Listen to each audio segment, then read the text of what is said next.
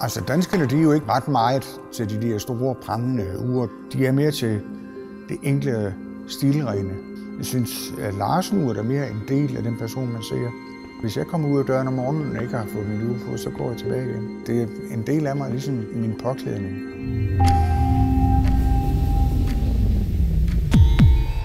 Den største udfordring, det er nøjagtighed og præcision. Når det virkelig gælder, så holder man stille og tilpasse sit åndedræt. Ligesom jægeren, når han trykker på aftrækkeren.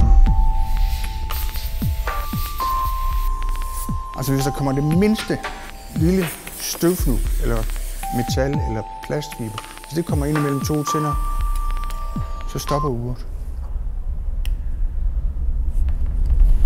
Vi mennesker er dybt afhængige af øh, øh, at kunne følge tiden. Den der store afhængighed, der ligger inde i sådan en lille ting, det, det, det, det fascinerer mig meget.